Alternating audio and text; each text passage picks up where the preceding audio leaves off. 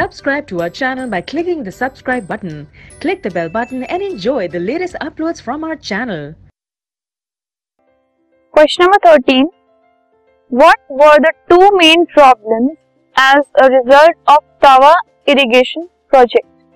जो तावा irrigation project है उसकी मेन प्रॉब्लम्स क्या थी उसमें एक तो वाटर लॉगिंग की प्रॉब्लम थी कि जो वाटर है वो इकट्ठा हो जाता था और उसकी वजह से वो वहाँ से ना ही अच्छे से स्टोर हो पाता था, ना ही वो फ्लो हो पाता था। अल्टीमेटली उसमें माइक्रो ऑर्गेनिज्म बैक्टीरिया वगैरह हो जाते थे और वो कंटेमिनेट हो जाता था।